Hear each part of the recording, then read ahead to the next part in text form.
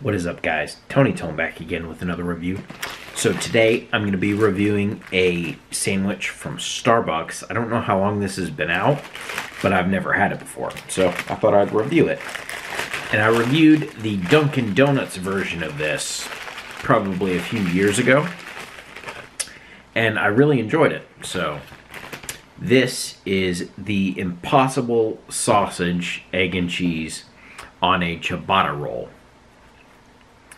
So let me, uh, yeah, just, here, let's just get into this. It's kind of lopsided, but, uh, cheers. Mm. Okay. So, this is a Beyond Meat sausage patty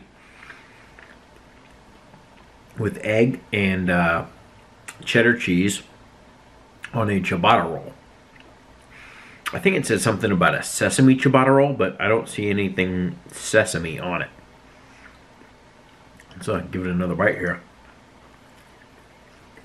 Mm. So, the vibe I'm getting from this is like a sausage pizza. Like, like if you get like crumbled sausage on a pizza, that's the cru- the uh, bun tastes like pizza crust, and then this Beyond sausage actually tastes like sausage. It's a mild flavor, so there's not a ton of seasoning like there was on the uh, Dunkin' one. The Dunkin' one, in my opinion, was overly seasoned, so I would definitely give the edge to this one. I mean, the egg is just you know, standard freezer egg. So, you know, they freeze it and thaw it out. And the uh, cheese, I'm not really tasting the cheese. Mm. Yeah.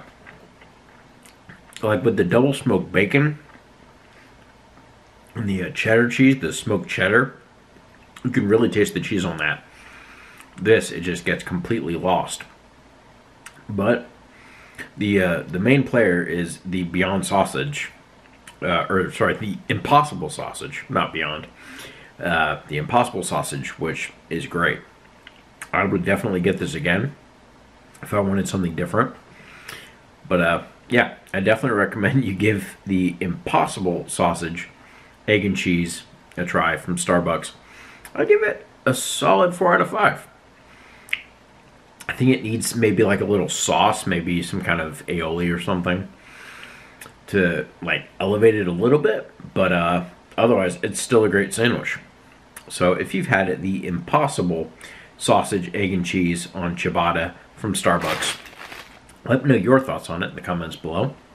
Give this video a like if you enjoyed it, share it so someone else can see it, subscribe to the channel if you haven't already. I'll see you guys in the next review. Peace.